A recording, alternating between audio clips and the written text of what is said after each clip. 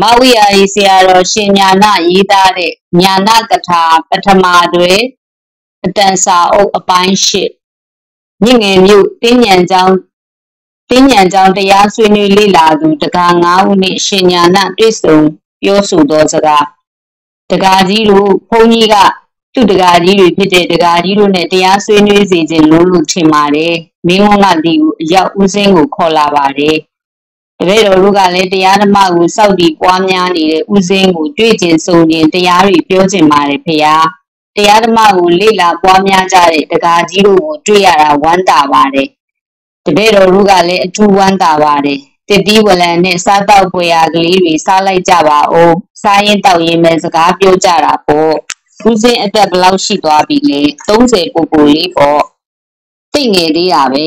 ဥစဉ်ဘသူနဲ့မှတရားမပြောဆိုဘူးတလောက်ပဲ ဒကာကြီးတို့ကတော့အသက်တွေလည်း60ကျော်တွေလောက်ရှိကြရော့မယ်တရားတွေအည်ဝနေကြလောက်ပြီဆွေးနွေးဝိုင်းတွေမှာတော့အမြဲပဲပြောဆိုနေတာပါပဲဆွေးနွေးတာဟာအမြင့်ဆုံးပညာရှာနည်းတစ်မျိုးဖြစ်ပါတယ်ဒါဟာမင်္ဂလာပါပဲဦးစင်းကနေပေမဲ့ဘုန်းကြီးဖြစ်တော့တပည့်တော်တို့ကိုတရားဓမ္မအခွင့်တစ်ခုတင်ပြပေးပါအဲ့အားကိုတပည့်တော်တို့ကမေးမြန်းဆွေးနွေးကြပါတယ် အေးဗျာအဲ့ဒါအတွက်တော့အခွင့်လွတ်ပါဦးစင်းအနေနဲ့အလေးထားမရှိတော့ဘာတင်ပြရင်တော်မဲဆိုတာစိတ်ထဲမှာမပေါ်ပါဘူးတခါကြီးတို့ဆွေးနွေးလေးရှိတဲ့ဂွင်တစ်ခုကိုတင်ပြကြပါလားအဲ့ဒါကိုတင့်နေထင်မထင်ဦးစင်းဟာဆွေးနွေးပေးပြရစီလားကောင်းပါပြီဖေဟာတပည့်တော်တို့ကြောင်ပန်းဆရာတော်ကြီးဒိဋ္ဌယတင်ပြပါမယ်တင်ပြပါတကြီးလေးပါရှိပါတယ်ကက္ကလလက္ခဏာရှိတဲ့ပထဝီနဲ့ အာဗန္ဒနလက္ခဏာရှိတဲ့အာဘောအစရှိတာတွေပါပဲဒီဓာတ်တွေဟာတလုံးကိုနိုင်ရင်အကုန်ပိုင်တာပါပဲအေးဗျာစကားပြောကြမှာပဲမေတ္တာရက်ခံရက်ပြစီပါလေဗျာတရားဓမ္မဆွေးနွေးတဲ့အခါပရမတ်တွေအကြောင်းမပြောစီချင်ပါဘူးဘာဖြစ်လို့လဲဖေဟာပရမတ်ထတွေကတရားမဟုတ်လို့ပါပရမတ်ထတွေကိုအမျိုးမျိုးခွဲခြမ်းရှာဖွေလို့တရားမရနိုင်ပါဘူး အကျိုးနေတာတွေဖြစ်စေပါလိမ့်မယ်ပရမတ်တရားပွားများရင်အကျိုးနေတာတွေဖြစ်စေမှာလားဖေဟာဟုတ်ပါတယ်အကျိုးနည်းစေပါလိမ့်မယ်ဦးစင်းကလည်းပြောင်းမြန်ပြောလိုက်တာလားဖေဟာဘာဖြစ်လို့ပြောင်းမြန်ပြောတယ်ထင်တာလဲပရမတ်ဟာအလွန်မြင့်မြတ်တဲ့ဟာပဲတကာကြီးတို့အထင်မှားနေကြပြီအကျိုးနည်းတယ်ဆိုတဲ့အကြောင်းဦးစင်းကပေါ်လွင်အောင်ပြနိုင်လို့လားဒါပေါ်လွင်တဲ့ဟာပဲ ဒါကိုတပည့်တော်တို့နားထောင်နေရစီတကာကြီးတို့အခုစားတောက်နေကြတာတွေဟာတရတိတင်မောဒီအစရှိတာတွေဖြစ်တယ်နော်ဟုတ်လားဟုတ်ပါတယ်အဲ့ဒါတွေထဲမှာပထဝီအာဘောအစရှိတဲ့ဓာတ်တွေလည်းပါတယ်အဲ့ဒီစားစရာတွေဟာပထဝီစတဲ့ဓာတ်တွေရဲ့အစုအဝေးတွေပဲပေါ့ဟုတ်ပါတယ်ဒီကျောင်းအောက်ကမြေပေါ်မှာရှိနေတဲ့အပိုက်တရိုက်တွေဟာလည်းပထဝီစတဲ့ဓာတ်အစုအဝေးတွေပဲဖြစ်နေတယ်ဟုတ်ပါတယ် ဒီတော့အစာကလည်းဓာတ်၄ပါးဖြစ်နေတယ်ဟုတ်ပါတယ်ဓာတ်ရှုလျင်အမှိုက်နဲ့အစာရောသွားစရာရှိတယ်ဓာတ်မျက်စိနဲ့ကြည့်တော့အမှိုက်ရဲ့အစာရဲ့မရှိတော့ပဲဖြစ်သွားမယ်ပေါ့ဟုတ်ပါတယ်ဒီလိုရောသွားရင်ဘယ်ဟာဆောင်မယ်ဘယ်ဟာရှောင်မယ်ဘာနဲ့ခွဲမလဲမခွဲနိုင်ပါဘူးဆောင်ရရနဲ့ရှောင်ရခွဲသည်မှာစားစရာဟာစားလို့ရလိမ့်မယ် ဓာတ်ရှုရင်ရှောင်ရံနဲ့ဆောင်ရံမခွဲနိုင်ဖြစ်ပြီးဘယ်လိုစားမလဲအကျိုးနည်းပြီပေါ့ဦးစင်းပြောတာလည်းမမှားပါဘူးပြောစရာရှိရင်ပြောပါဦးအရေးတကြီးပဲပြောစရာရှိတာပြောပါနားထောင်မှမယ်ပရမတ်မရှိရင်ယောက်ျားမိန်းမဆိုတဲ့သမုဒိတစ္ဆာတွေဘောလုံးပေါ်နေမှာပေါ့ဟုတ်ကဲ့ပေါ်နေမှာပါဒါဆိုရင်ကိလေသာကိုဘယ်လိုညှိမ့်တတ်ကြမလဲ ကိလေသာကဘာကြောင့်ဖြစ်တာထင်လို့ပါလဲမိန်းမကိုမိန်းမလို့မြင်တော့မိန်းမအာယုံနမိတ်ကြောင့်ကိလေသာဖြစ်တယ်မဟုတ်ပါလားဖေယားအဲ့ဒီလိုပြောချင်စရာဖြစ်ပါတယ်မဟုတ်လို့လားဖေယားအဲ့ဒီလိုအမှန်မဟုတ်ပါဘူးဘယ်လိုလဲဖေယားမဟုတ်ပုံပေါ်လွင်အောင်တကာကြီးတို့ကိုမေးခွန်းနဲ့နဲ့မေးကြည့်မယ်နော်မေးပါဖေယားတကာကြီးတို့အမေအမနှမတူမညီမအဆဆတွေတမျိုးမဟုတ်တမျိုးရှိနေကြမှာပဲဟုတ်ရဲ့လား ဟုတ်ပါတယ်အဲ့ဓာတွေဟာမိမတွေဟုတ်တယ်မဟုတ်လားဟုတ်ပါတယ်အဲ့ဒီမိမတွေကိုမိမတွေလို့သိနေကြမှာပဲเนาะဘယ်လိုလဲသိနေကြပါတယ်ခင်ဗျာအဲ့ဓာတွေပုံမှာကိလေသာတဏှာနဲ့ပြစ်မှားဘူးတယ်ဆိုတာရှိဘူးကြသလား မရှိဘူးကြတော့ပါဘူးဘယ်လိုလဲဗျာဘယ်ရှိဘူးမလဲဖေဟာ အေးဗျာပြီးတော့လေအဲ့ဒီသူတွေကကိလေသာတဏှာစိတ်မပေါ်နိုင်လောက်အောင်ရုပ်ရည်ယူပကချွတ်တဲ့နေကြသူတွေလည်းမဖြစ်တော့ပါဘူးသူများတွေအနေနဲ့တဏှာတွေဖြစ်ခြင်းလည်းဖြစ်ကြမှာပါပဲမဟုတ်လားဟုတ်ပါတယ်ဒီလိုဆိုရင်တကားကြီးတို့ကလည်းကိလေသာတဏှာကုန်နေကြလို့လားမေးလျင်မကုံချောင်းဖြေကြမှာပဲထင်ပါတယ်ဘယ်လိုလဲမကုံပါဘူးဖေဟာဘယ်လိုလဲဗျာဒါတွေကဆွေမျိုးတွေကို ဆွေမျိုးဆိုတာတော်ဆက်တာကဆွေမျိုးလားတိတာကဆွေမျိုးလားတော်ဆက်တာကဆွေမျိုးပေါ့ဖေဟာတော်ဆက်ပေမဲ့လူမှန်းမသိခင်ကပဲကွဲသွားပြီးကြီးမှတွေ့တယ်ဆိုရင်အဲ့ဒီသူဆွေမျိုးဖြစ်ပါမလားမသိပေမဲ့ဆွေမျိုးပေါ့ဖေဟာအဲ့ဒီသူကိုကိလေသာတဏှာစိတ်မပေါ်နိုင်ဘူးလားပေါ်နိုင်ပါတယ်ဟုတ်ပြီဗျာနောက်တစ်ခုမေးမယ်မေးပါဗျာဆွေမျိုး တကယ်မတော်ပေမဲ့မသိတဲ့အရွယ်ကရခဲ့တဲ့အမေအမနှမတွေကိုဆွေမျိုးရင်းတွေလို့သိနေတယ်ဒါမျိုးလည်းရှိနိုင်တယ်မဟုတ်ပါလားရှိနိုင်ပါတယ်ရှိလဲရှိနေကြပါတယ်အဲ့ဒီလူတွေပေါ်မှာကိလေသာတဏှာစိတ်ဖြစ်နိုင်ပါမလားမဖြစ်နိုင်ပါဘူးဖေယားတကာကြီးတို့ပြောခဲ့တဲ့စကားနှခွန်းရှိသွားပြီဘာတွေလဲဖေယားဆွေမျိုးဟာတကယ်ဖြစ်ပေမဲ့မသိလျင်ကိလေသာတဏှာပေါ်နိုင်တယ် ရွှေမျိုးတကယ်မတော်ပေမဲ့တော်တယ်လို့သိနေလေကိလေသာတဏှာမပေါ်နိုင်ဘူးဆိုတာပဲဟုတ်ပါတယ်ဒီလိုပဲပြောခဲ့ပါတယ်တခါကြီးတို့ကမိမကိုမိမလို့သိလေကိလေသာတဏှာပေါ်မှာပြောခဲ့တယ်ဟုတ်ပါတယ်အမေမတွေကိုမိမလို့သိပေမဲ့ကိလေသာတဏှာမပေါ်ပါလားပြောတော့ဆွေမျိုးမှုပါလို့ပြောခဲ့တယ်ဟုတ်ပါတယ်ဆွေမျိုးမမသိတဲ့ဆွေမျိုးဆိုရင်ကိလေသာတဏှာပေါ်နိုင်တယ် ဆွေမျိုးမဟုတ်ပေမဲ့ဆွေမျိုးလို့သိနေရင်ကိလေသာတဏမပေါ်နိုင်ဘူးဒီလိုပဲပြောခဲ့တယ်ပြောခဲ့ပါတယ်ဖေဟာဒီတော့ကိလေသာကိုတားတာဟာတကယ်ဆွေမျိုးဖြစ်တာကလားဆွေမျိုးလို့သိတာကလားလို့ကြည့်ရင်ကိလေသာကသာတားနိုင်တာလားတွေ့ခဲ့ရပြီဟုတ်ပါတယ်ဒီတော့သိတာနဲ့ဆက်ပြီးဒကာကြီးတို့နည်းနည်းမေးအောင်မယ်မေးပါဗျာဆွေမျိုးကိုဆွေမျိုးလို့သိတာပညာလားဟုတ်ပါဘူးဖေဟာ ဝိညာဉ်သိလားဝိညာဉ်သိလည်းမဟုတ်ပါဘူးဗျာတင်ညာသိလားဟုတ်ပါတယ်လူတလေးကိုမှတ်သားထားတဲ့အတိဆိုတော့တင်ညာတိဖြစ်မှာပေါ့ဒါတွေကိုပေါင်းကြည့်လိုက်ရင်ဆွေမျိုးအမေအမနှမတွေအပေါ်မှာကိလေသာတဏှာမပေါ်တာဟာဆွေမျိုးဖြစ်လို့မဟုတ်ဘူးဆွေမျိုးလို့သိနေတဲ့တင်ညာကြောင့်မပေါ်တာလို့အတိတ်ပဲရောက်သွားဘူးလားဟုတ်ပါတယ်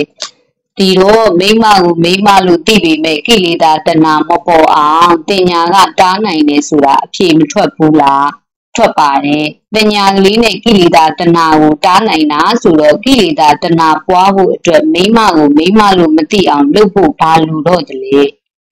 ဒါကလောကီနည်းနဲ့တားတာလောက်ပဲဖြစ်မှာပေါ့ဗျာကိလေသာတားဖို့အတွက်မလုံလောက်ဘူးထင်လို့လား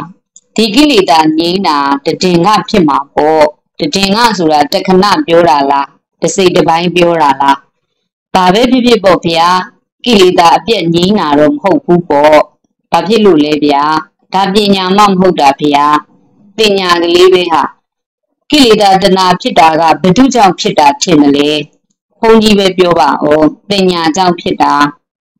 မိမကိုမိမလို့သိတဲ့ပညာကြောင့်ဟုတ်တာပေါ့ဗျာဒါမဟုတ်တာကိုအရှိကြီးပြောခဲ့ပြီးပြီပဲ ထိုင်ရာကမထရသေးဘူးဒါကိုပြန်ကောက်တော့မလို့လား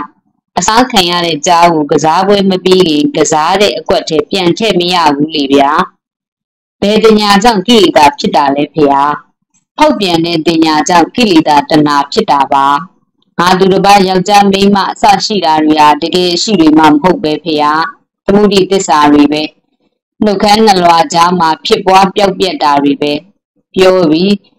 မဟုတ်ဘူးလားဖေဟာ ဘယ်ကလာနှုတ်ခမ်းနှလာကြားမှာဖြစ်ရမှာလေပြောရကမျှပဲဖြစ်တယ်မဟုတ်ပါလားတကယ်လောကထဲမှာမိမဆိုတာမရှိဘူးလားစကလုံးပဲရှိတာလားဘယ်ဟာမိမလဲဖေဟာမိမဆိုတာရှာလျင်ပထဝီအာဘောတေဇောဝါယောပဲရမယ်ဆိုလိုတာလားအဲ့ဓာတွေအပြင်ရှိသေးလို့လားတကာကြီးတို့ဟာတစ်ပင်မဲ့မြင်တတ်ပြီးတောမမြင်တတ်သူတွေလိုဖြစ်နေပြီဘယ်လိုလဲဖေဟာ မိဘနဲ့အတူတောထဲလိုက်လာတဲ့ကလေးတယောက်ကရောက်တဲ့အခါအဖေတောကဘယ်ဟာလဲလို့မေးတယ်အဖေလို့သူကဒါတောပဲလို့ပြောတော့တောလို့သာပြောရတယ်မြင်လည်းမမြင်ရဘူးတစ်ပင်တွေးကြီးမြင်နေရတာပဲလို့ပြောတယ်ဒါတောခေါ်တာပဲကွာလို့ဖေကပြန်ပြောတယ်တောဆိုတာစကားပဲရှိတယ်တကယ်မရှိဘူးတစ်ပင်ပဲရှိတယ်လို့သားကထင်သွားသလိုဖြစ်နေတာပဲကလေးထင်တာတကယ်မမှန်ဘူးလား ကလေးပဲဘယ်မှန်တာသိမလဲကလေးပြောတာမှားတယ်လို့ဘယ်လိုပြောမလဲဖေဟာကလေးအတိကငယ်တော့တောလူအာယုကိုမြင်နိုင်လောက်အောင်အသိဉာဏ်ကမရှိသေးလို့တောဆိုတာစကားပဲရှိတာလို့ပြောရမှာပဲတပည့်တော်လူလည်းကလေးပဲလား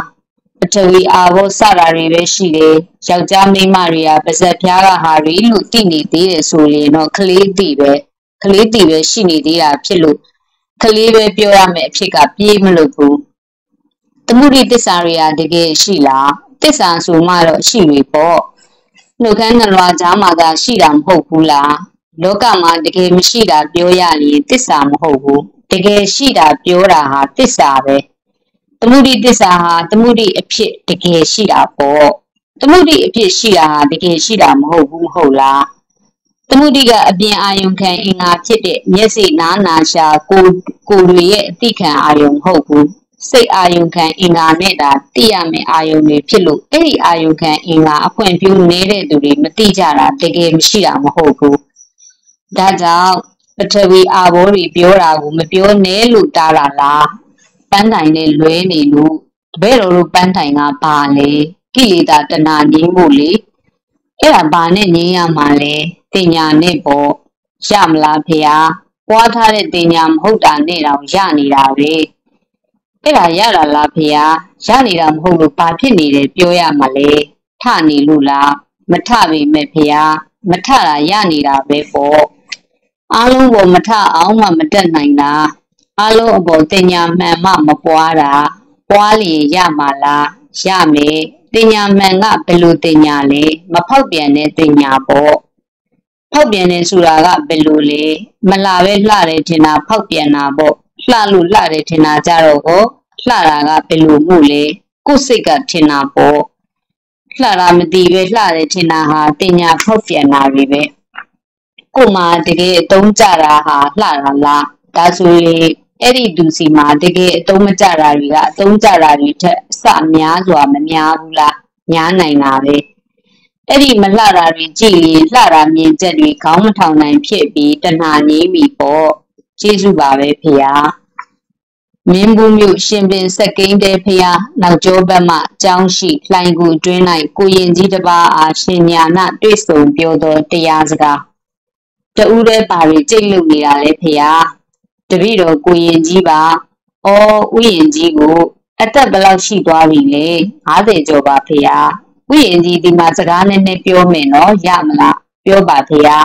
။ဥယျင်ကြီးကူကြီးကကျဲလဲကျဲနဲ့လဲနဲ့ပါရဲ့တဲတွေကတပွားပွားနဲ့ဘာမှလင်းကြံမထားဘူးနော်။ကြောက်ခစ်လှိုင်ကူကြီးတွေဒီလိုပဲနေမလားမပြောတတ်ပါဘူး။ဥယျင်ကြီးကလည်းဒီကူကြီးတဲ့နေနေလိုက်တာရှေးဟောင်းလူကြီးကြနေရပဲ။ ဒီလိုဖြစ်အောင်နေတာမဟုတ်ပါဘူးဥယျာဉ်ကြီးကဒီကူကြီးတဲ့ဘာတွေကိုကြိတ်လုံနေရလဲဘာမှမလုပ်ပါဘူးဒီနေရာမျိုးဟာကြိတ်လုံနေတဲ့လူတွေနေတတ်တဲ့နေရာမျိုးပဲဟုတ်မှာပါပဲဖေဟာဥယျာဉ်ကြီးရောဘာတွေကြိတ်လုံတယ်လဲအဲ့ဒါမပြောလျင်တော့ဦးစင်းဒီကူတွေကမထွက်ဖဲနေရမှာပဲဘာမှအထွေထူး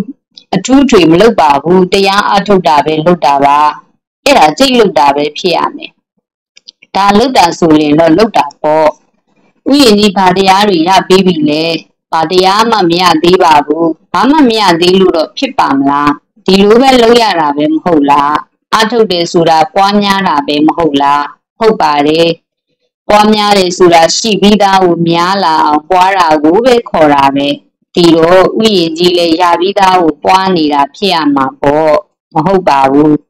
ဒီလိုဆိုရင်တော့ဥယျာဉ်ကြီးဟာမကောင်းပါဘူးဘာဖြစ်လို့လဲပုံစံတစ်ခုပြောမယ်ပြောပါဖေဟာမိဖို့တစ်ခုမှာမိမွေးလောင်စာတွေအပြည့်ထည့်ပါမိမထည့်ပဲမိလောင်ပါမလားမလောင်နိုင်တော့ပါဘူးမိလောင်စေခြင်းလို့မှုတ်ပေးနေမယ်မိလောင်ပါမလားမလောင်ပါဘူးမလောင်မချင်းမှုတ်နေရက်ခတ်နေရင်များမိလောင်လားဘယ်နည်းနဲ့မှမလောင်နိုင်ပါဘူးမိကလေးနည်းနည်းလေးတစ်တစ်လောင်စာထည့်ပြီးမှုတ်ရင်တော့လောင်ပါနော် ဟုတ်ပါတယ်လောင်ပါပါများများမှုတ်ရင်မိတောက်ကြီးကြီးဖြစ်အောင်လောင်ပါနော်လောင်ပါပါပဲဟုတ်တယ်မီးလောင်စေခြင်းရင်မီးပေါ်မှာလောင်စာထည့်ပြီးမှုတ်စီမှုတ်နေုံနဲ့မရဘူးမီးနေနေဖြစ်ဖြစ်ရှိမှမရှိရင်လည်းရှိအောင်ထည့်ပေးမှဖြစ်မှာပဲဟုတ်ပါတယ်ဥယျာဉ်ကြီးကမီးမရှိပဲမီးမှုတ်ပေးနေတယ်လို့ဖြစ်နေတယ်နဲ့တူတယ်မပြောတတ်ပါဘူးဒီလိုဆိုတော့ဥယျာဉ်ကြီးထက်ဦးစင်းကအရတော်လို့ဖြစ်သေးတယ်ဘ ယ်လိုကြောင့်လဲဖေဟာဥယျာဉ်ကြီးကအားထုတ်တယ်မရဘူးဦးစင်းကအားမထုတ်ဘူးအတူတူပဲမဟုတ်လားဟုတ်ပါတယ်ဒါပေမဲ့ဥယျာဉ်ကြီးရှေးဟောင်းတဲကူကြီးထဲမှာပုံဝါးဝါးနဲ့နေရတယ်ဦးစင်းကမြေပြင်ကျကြီးပေါ်မှာလက်ဆက်တဲ့လေတွေတအားရှိုက်ရှူပြီးရှူကင်းလာတွေကြည့်ပြီးနေရတာပေါ့ဟုတ်မှာပါတောင်တွင်းကြီးမြို့နတ်မီတော်ရကျောင်း၌ဆရာတော်ရှင်ဥက္ကဋ္ဌအားရှင်ညာနာပြောသောစကား တပည့်တော်မနေ့ပြန်မှာပြန်ခွင့်ပြုပါဆရာတော်မပြန်ခင်ဒီညမှာမေးခွန်းစကားကလေးနည်းနည်းလောက်မေးခွင့်ပြုပါမင်းကပါမေးမှလေသုံးခွန်းလောက်မေးမှာပါဆရာတော်မေးကွာဆရာတော်ကျောင်းကိုတပည့်တော်လွန်ခဲ့တဲ့ရက်၃ရက်လောက်ကရောက်ခဲ့ပါတယ်ဆရာတော်ထံကနေ့စဉ်ဟောပြောတဲ့လူသေးလူဖြစ်တရားကိုနာကြားရပါတယ်အဲ့ဒီလူသေးလူဖြစ်အဘိဓမ္မာဟာဆရာတော်ရဲ့အဘိဓမ္မာလားဗုဒ္ဓအဘိဓမ္မာလားဆိုတာတပည့်တော်သိပြရစီဆရာတော် ဗုဒ္ဓအဘိဓမ္မာကလွန်ခဲ့တဲ့နှစ်ပေါင်း2500ကျော်ကပေါ်ခဲ့တဲ့အဘိဓမ္မာပဲလူသေးလူဖြစ်အဘိဓမ္မာကတို့အခုမှရေးတဲ့အဘိဓမ္မာပဲတင်မဗျာမင်းဒီကနိကေကိုလေ့လာဘူးသလားတင်မဗျာဒီကနိကေတွေကတိလက္ခဏဝတ်ကိုဖတ်ဖို့တင်မဗျာအဲ့ဒီမှာကေဝတ္တတုတ်တွေ့ရမယ်အဲ့ဒီစာဟာတပည့်တော်သင်ယူဖြစ်နဲ့သင်ယူခဲ့ဘူးတဲ့စာပါ အဲ့ဒီကေဝတ္တတုတ်ထဲမှာဆိုလိုတဲ့ဘယ်စကားကိုတပည့်တော်ကိုသိစေချင်တာပါလိမ့်ဆရာတော်အဲ့ဒီထဲမှာဂါရာတပုတ်ပါတယ်ဝိညာဏံအအနိတတနံအနအနန္တံတပတောပပံယထအာဘောစပထဝီတေဇောဝါယောဆိုပြီးတော့ပဲ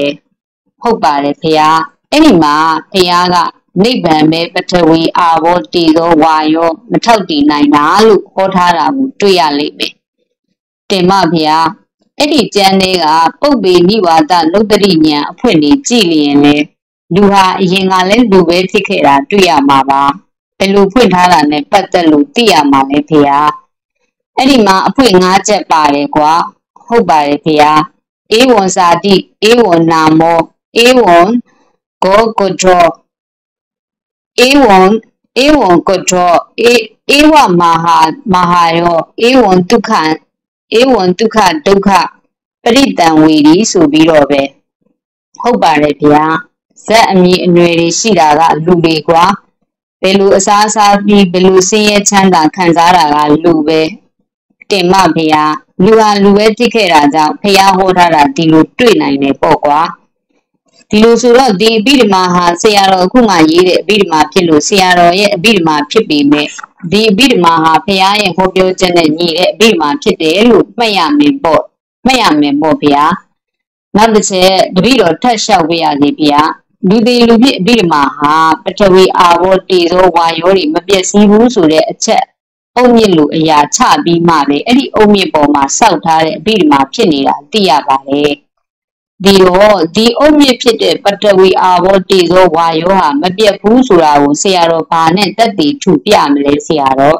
အေးမင်းကမေးရအောင်မယ်မေးပါဗျာ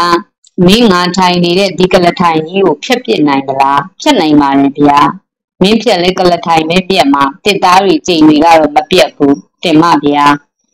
မင်းကမီးရှို့ဖြက်မလားဒါလည်းတစ်သားတွေကြိမ်တွေပဲပြက်မယ် ပထဝီအာဘောတေဇောဝါယောတွေကအခိုးတို့ပြလို့ဖြစ်ပြောင်းသွားမှာပဲမပြတ်ဘူးကွတင်မဗျာပထဝီအာဘောတေဇောဝါယောဟာဘယ်သူဖြစ်ဖြစ်မပြတ်ဘူးဘယ်သူမှလည်းအစ်စ်တီဆောက်လို့မရဘူးကွတင်မဗျာဟုတ်ပြီလားတပည့်တော်တခုလောက်ရှောက်ချင်ပါတယ်ဗျာပါလေကွဆရာတော် content theory ကိုဖတ်ပြီးနေရောမယ်ထင်ပါတယ်ဗျာမင်းဖတ်ပြီးပြီလား တပည့်တော်ကဗမာစာပဲဖတ်တတ်သူဆိုတော့ဗမာလူရေးတဲ့အနေပါပဲဖတ်ရတာပါဗျာအေးပေါ့တင်မဗျာမင်းငါပြောရမယ်မိတ်ရှိပါဗျာလူတွေလူဖြစ်ကိုမင်းမဖြတ်ချင်ပါနဲ့ကွာနောက်လူတွေကလူတွေလူဖြစ်ကိုအတုံးကြရင်အတုံးချကြပါစေသူတို့ကအတုံးကြဘူးဆိုရင်လည်းသူတို့ပဲဖြတ်ကြလိမ့်မှာပေါ့တင်မသိမြတ်ပါတယ်ဗျာငါတို့လူတွေလူဖြစ်ရေးလိုက်တာကလူနေတဲ့အကွက်တကွက်ကိုဖြည့်တဲ့အနေနဲ့ပဲ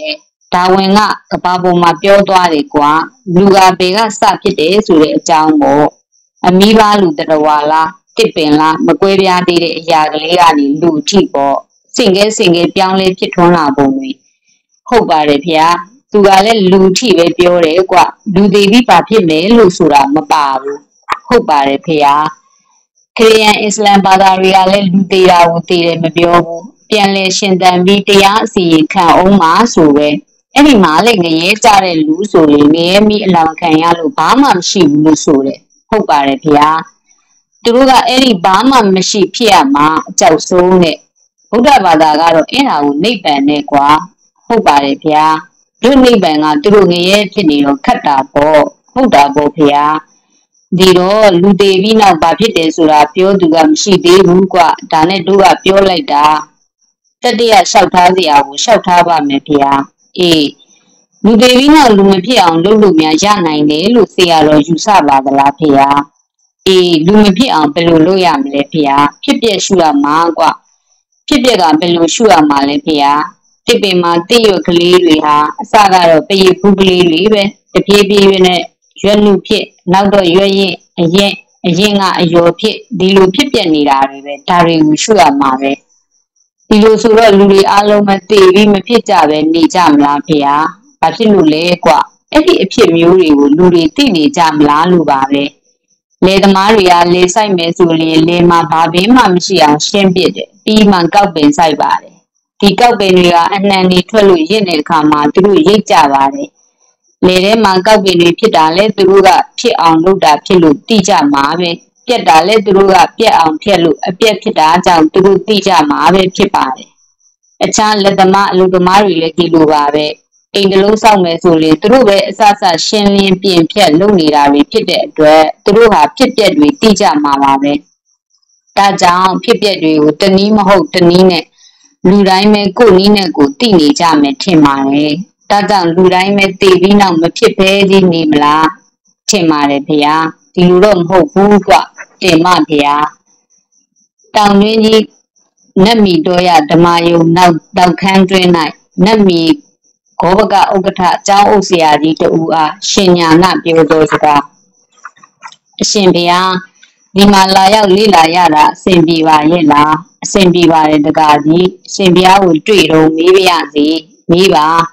ဒီစတီမှာအရှင်ဘုရားရဲ့ဟိုဘက်အစွန်ကစာထိုင်ဖတ်နေတဲ့ចောင်းသားကိုဘယ်လိုသဘောထားလဲဘုရား ဘာဖြစ်လို့လဲဘာဖြစ်လို့တော့အရှင်ဘုရားကိုမန္တလေးမင်းမောအရက်ကဆိုတာသိရလို့မေးတာပါဘယ်လိုလဲအဲ့ဒီမှာဆိုတော့ဘုန်းကြီးထိုင်နေတဲ့စတီထိုင်ကုန်တွေမှာចောင်းသားထိုင်လို့မသိဘူးမှတ်ယူကြမလားလို့ပါပဲဦးစင်းအနေနဲ့တော့ဒီလိုမမှတ်ယူပါဘူးဦးစင်းစိတ်ထဲမှာဦးစင်းဟာဒီကလေးထက်မြင့်မြတ်တယ်ဒီလိုမထိုင်သိအောင်ရှိတယ်မမြင်ပါဘူးဦးစင်းဟာဘာသာရေးမှာကေတာတယောက်ဖြစ်ကောင်းဖြစ်ပါမယ်ကလေးဟာလည်းဘာသာဝင်တယောက်ဖြစ်ကောင်းဖြစ်ပါမယ်